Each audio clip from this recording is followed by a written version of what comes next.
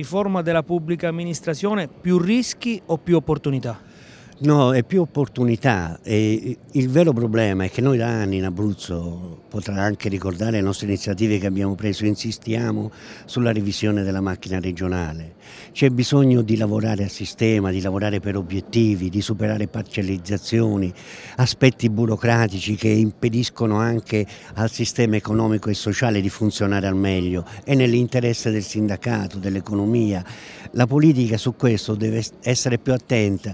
I lavoratori lavoratori sono interessati a un vero cambiamento, poi le eccezioni che confermano la regola ci sono dappertutto, ma il sindacato non difende le eccezioni, vuole una vera riforma della pubblica amministrazione, anche nella nostra regione, come per le province, dove tuteleremo i lavoratori perché abbiano un posto di lavoro e alla fine qualcuno che deve essere accompagnato in pensione sia accompagnato in pensione, ma quello che ci interessa è che i servizi che dà la collettività alle province non vengano abbandonati. Spina, qualche giorno fa a Pescara è venuto in visita il ministro del lavoro Poletti Uniti avete avuto un incontro con il Ministro per parlare delle emergenze occupazionali nella nostra regione.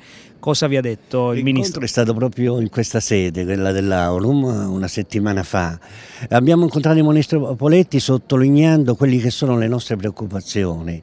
Eh, devo dire che abbiamo avuto anche una certa attenzione eh, adeguata, anche se tutte le risposte non sono state sufficienti, in modo particolare sono la carenza di risorse.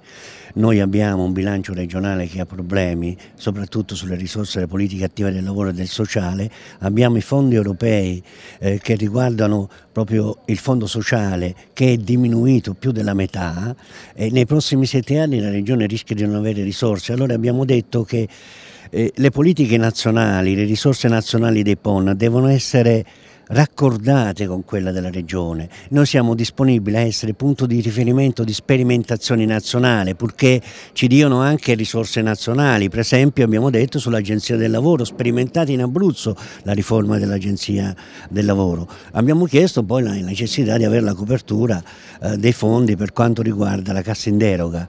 Su questo non abbiamo avuto forti rassicurazioni, anche se ha detto che le poche risorse disponibili sarebbero state sbloccate nel, a poco tempo leggero di poco tempo, ma queste non sono sufficienti per coprire tutto l'anno, c'è bisogno di uno sforzo maggiore.